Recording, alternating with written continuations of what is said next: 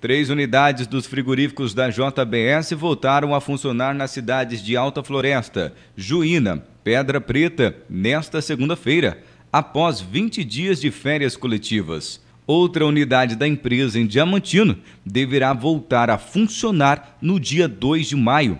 As unidades estão operando normalmente. Três abatedouros no estado do Pará, Goiás e Mato Grosso do Sul também voltaram a funcionar nesta segunda-feira.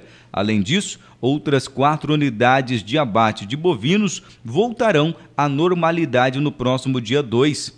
A empresa disse que a medida foi necessária para ajustar os volumes de produção e normalizar os níveis de estoque de produtos e restacionar a programação de embarques de produtos para os clientes do mercado externo impactado pela Operação Carne Fraca da Polícia Federal. A ação apurou um esquema de fraude e corrupção em frigoríficos do país e indiciou 63 pessoas sob suspeita de corrupção crime contra a ordem econômica e falsificação de produtos alimentícios, entre outros. E para garantir a venda interestadual de carne bovinas por frigoríficos não exportadores, o estado de Mato Grosso irá aderir ao Sistema Brasileiro de Inspeção de Origem Animal. O mapa já sinalizou a documentação necessária. Na ocasião, a companhia disse que o período de férias seria de 20 dias com a possibilidade de prorrogação por mais 10 dias se necessário.